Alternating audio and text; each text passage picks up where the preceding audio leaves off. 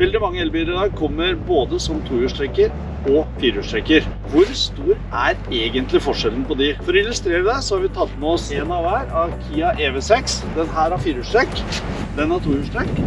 Så har vi James og Rune som skal prøve det. Ok, nå prøver vi med alle hjelpemidler på. Eh, James står ved siden av med firehjulstrekkeren. Klar, ferdig, gå! Dra litt sidelengs. Oi, han begynner å spinne med én gang. Må være veldig rolig, men gasspedalen er veldig enkel å balansere. Ja, se her. Jeg kommer fram til slutt, jeg ja.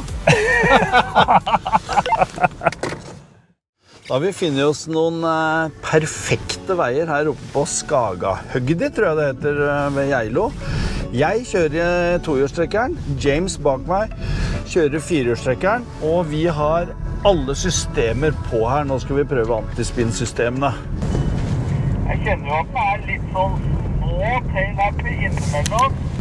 Det går an liksom å provosere det her, men det som er litt fint, selv om gasspedalen som for øvrig er eh, lite responsiv, er at eh, han er følsom nok til å fordele kreftene riktig, syns jeg. Så det er en enkel bil å kjøre på vinterføre, og nå er jeg full gass. Helt udramatisk. Du kjenner at, eh, også at eh, den er litt tail happy, altså baken eh, sklir ut litt. Det er litt overraskende at den får lov å leke så mye, syns jeg. Nå skrur vi av eh, første trinn på antispinn. Ser vi hvordan det funker. Det er nesten ikke noe forskjell på den bilen her. Nå provoserer jeg den litt grann nå. Da går den faktisk ned i fart, og ingenting som skjer av dramatikk. Åssen er det hos deg? Det er litt sånn det samme her. Det er veldig lite forskjell, egentlig. Kjenne at bakhjulene spinner. Men det blir liksom ikke noe dramatikk. Og så kjenner jeg bilen dra seg veldig raskt gjennom svingen, så jeg tar igjen deg ganske fort, egentlig. Jeg syns liksom til å være en tohjulstrekker, så er det veldig uproblematisk å kjøre denne bilen, men nå skal jeg slå av alt.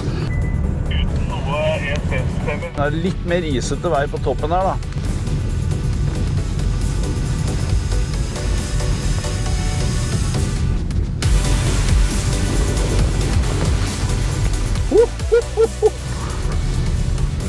Wow!